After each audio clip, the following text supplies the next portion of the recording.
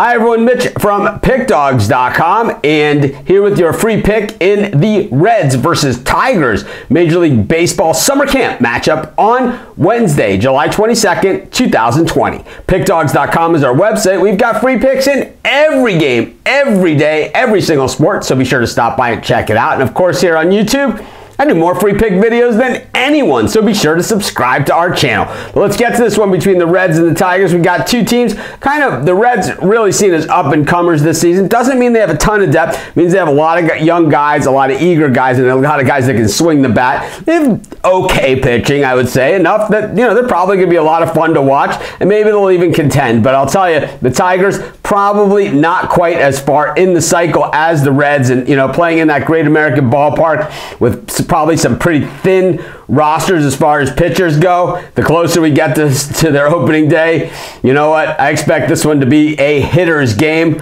I like to see a lot of runs in this one. I like the over in the Reds Tigers game, and that's going to be my free pick. This is Mitch. Thanks for joining me. Be sure to check out all of our free picks every day at pickdawgz.com. And of course, if you're looking for my best bets and best bets from some of the world's best handicappers, you can get it at pickdawgz.com. You just click on the premium picks tab at the top of the page. And of course, uh, if you're looking for even more free picks, you can get that on our live show every day at 10:30 a.m. Eastern Standard Time. So subscribe to our YouTube channel and join us.